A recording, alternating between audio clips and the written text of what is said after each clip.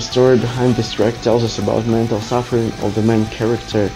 Heartbreaking screams literally wrap up his mind and he being vanquished by his love and madness just tells us about his own tragedy, loving tragedy actually, and you can hear the introduction words in the beginning of the song. And actually, that was me who was saying those words.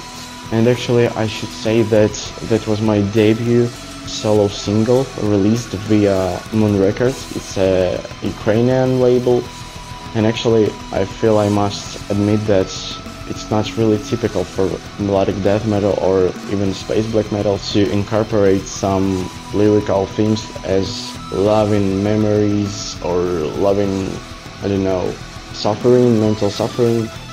So it's like about some other stuff. So yes, and I I guess that's like I didn't feel wrong while I was uh, writing uh, those lyrics for the song and I actually must admit that uh, the lyrics for this song were like about my real life, my real situation, circumstances, uh, about the story I personally faced and experienced.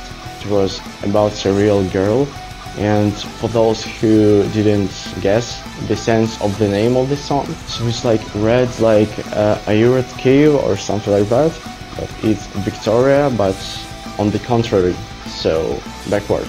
And yeah, that girl was Victoria. That was her actual name. So that was pretty much the story of the track I released via Moon Records as I said before. So bye.